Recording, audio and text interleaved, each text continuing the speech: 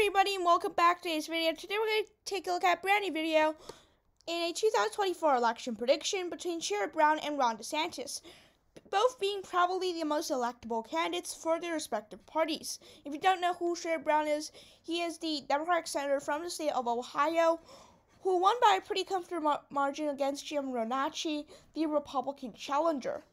And he has been in this position since 2006 as Ohio Democratic senator, who first won who first won his election by a huge margin and by a pretty decent margin in his next two elections as well.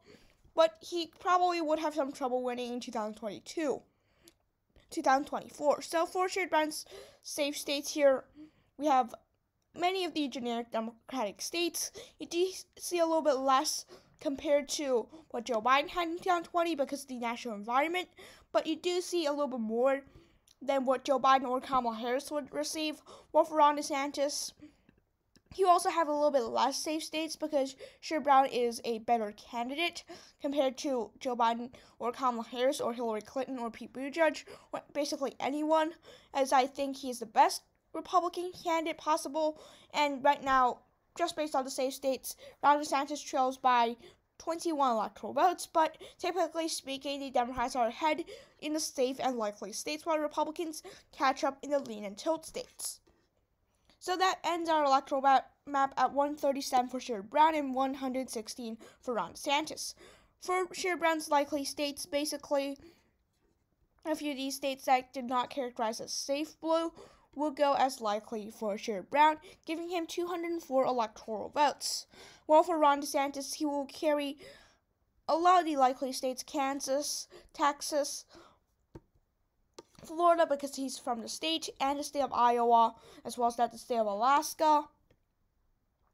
And Maine second congressional district that does not include the state of Ohio, as Sherrod Brown is a senator from the state as well. So that brings Ron DeSantis much closer to Sherrod Brown at 204 electoral votes to Ron DeSantis' 202 electoral votes. Now for the lean states for both parties. For Sherrod Brown, his lean states include Maine's at-large vote, probably not too surprising. Going to the state of New Mexico, a lean state for Sherrod Brown. I also consider Minnesota a lean state for Sherrod Brown. I think also the more moderate state of New Hampshire would be lean for Sherrod Brown, as he's as he as he does have some mo- more moderate voters to appeal there in the 2018 mid- midterm elections in his Senate run and a lot of elections. So yeah, that is that, those are lean states for Sherrod Brown. He's at 225 electoral votes. Ron DeSantis has quite a few lean states. Sherrod Brown does have the better appeal in the Rust Belt, but he's going to suffer from the Sun Belt uh, North Carolina, Georgia, which is actually a flip from 2020, the state of Arizona, the, and the state of Ohio. Those states will be lead states for Ron DeSantis, putting him pretty close to that 270 magical number to become the president. Look at these states. I think most of I think most of these are not that surprising. Sherrod Brown will lose Arizona and Georgia, two more moderate states, but those aren't more hit more states that you need the moderate appeal, you need that uh, moderate candidate appeal. I don't think Ron DeSantis, um, Sherrod Brown will do too well in, in the Sun Belt as he's from the Rust Belt. But for the state of Ohio, he'll do better than, basically all the other Democrat candidates. Biden lost the state by eight points. If Biden runs again, he's probably going to lose by a much larger margin, maybe 10, 11 points. But I think Sherrod Brown, being from the state, being in a more competitive position, basically in the state of Ohio, does give him that advantage there. Lean state for Ron DeSantis is probably about a four or five point victory. Also, my margins are in the description down below. For Sherrod Brown's tilt states, there are two of them. One is the district, Nebraska's second congressional district. I think he would do well in that district. If yes, me again, he could lose I mean, he could lose the district, and it's a very close district. Actually, I, I'm actually going to go give it to Ron DeSantis very nearly. That's probably going to be like a toss-up district, a very competitive district, although the one electoral vote probably doesn't matter that much. Sherrod Brown's only tilt state will be the state of Michigan. He does have that white working class appeal in the state of Michigan, in my opinion.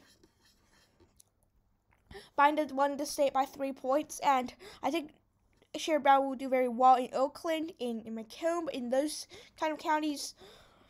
In areas like Grand Rapids, he's probably going to suffer a little bit from Ann Arbor, Detroit, and I think when everything is said and done, he'll very narrowly carry the state.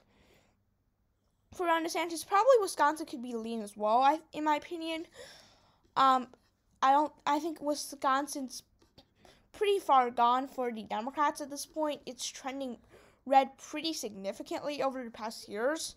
And Pennsylvania, the suburbs could be more friendly to Brown but I don't think it's going to be enough. He should be able to do a little bit better from the rural areas, but just not enough to win the state. Nevada will also be a tilt state for Ron DeSantis, which is quite interesting because it. I think it's. I think it's quite interesting that in the modern times we have Michigan going blue, but the state of Nevada going red. But I think that is due to the fact that Sherrod Brown, again, Ron DeSantis is from the Sun Belt, but Sherrod Brown is from the Rust Belt. So a little bit different of the map than you than you would normally expect. A little bit better for the Democrats than another re- election prediction, but yeah. So thanks for watching. Have a nice day, and I'll see you guys on the next video. Bye.